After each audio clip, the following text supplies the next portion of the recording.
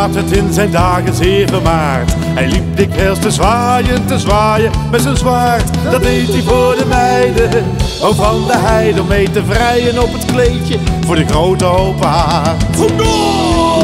Voor de grote open haard. Voor de grote open haard. Maar in die kamer zat nog steeds een pa die was bejaard. En op dat vrijerskleed lag zijn moeder opgebaard. Na haar overlijden, wat hem verblijde. Want Koenraad vond zijn moeder maar een nare oude taart. Maar een nare oude taart. Maar een nare oude taart. Werd in zijn dagen zeer vermaard. Die liep te zwaaien met zijn zwaard. Oh, had ik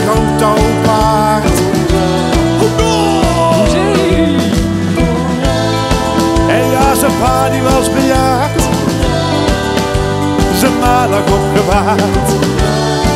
Dat vond hij maar een oude taart.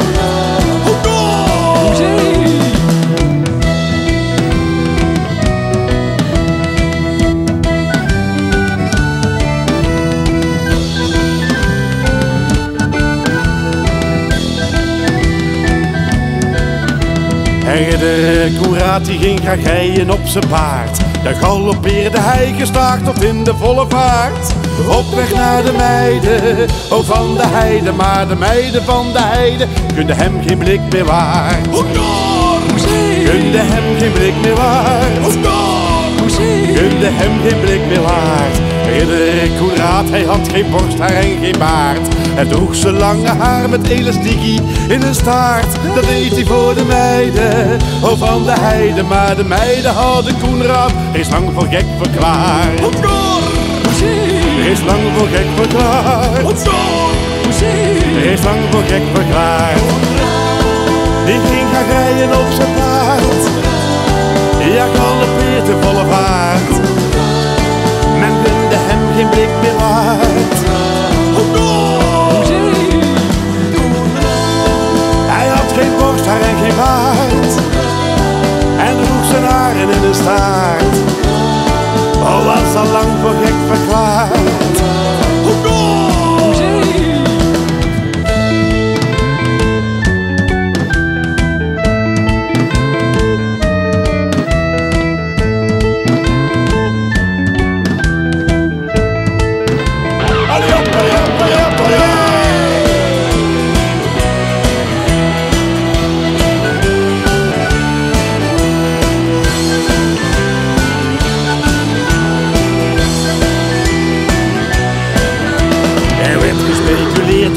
Seksuele aard. Die roddels brachten Koenraad dadelijk van de kaart. En weet je wat de meiden van de heide zeiden? Als wij dan moeten kiezen, doen we het liever met zijn paard.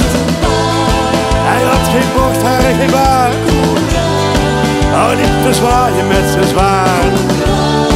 Je had de grote open hart. Wat is zijn seksuele? Was dadig van de kaart. Men deed het liever met zijn paard.